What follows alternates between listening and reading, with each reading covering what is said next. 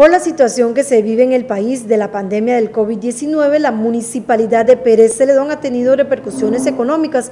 Entre las decisiones que se tomaron fue el cierre temporal de la oficina de promoción turística que se ubica en el Parque de San Isidro de El General.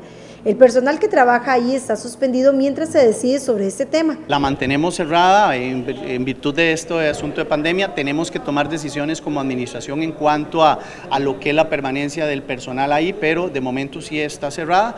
Hay un gran cuánto tiempo está eh, desde este inicio de la pandemia, o sea, desde el inicio de la pandemia, cuando ya rebajamos pues la operación de nuestra municipalidad pues a, a un 20% y sabiendo que de igual manera el aspecto del sector turismo pues iba a estar este con este con esta pausa.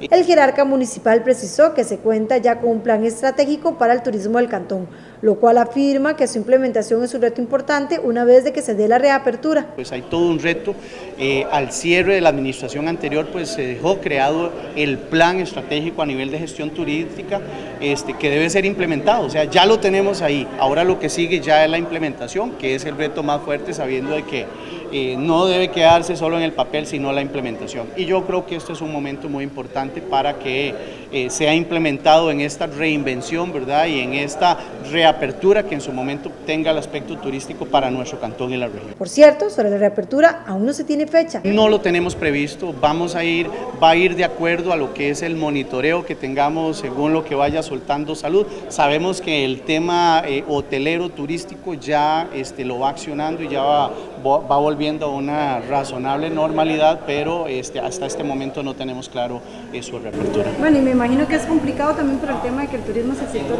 más afectado. Así es, así es completamente y por lo tanto se vuelve un reto de que más bien ese plan que se tiene implementado pues eh, o que se tiene elaborado pues se implemente lo antes posible. El sector turístico es uno de los más afectados durante esta pandemia.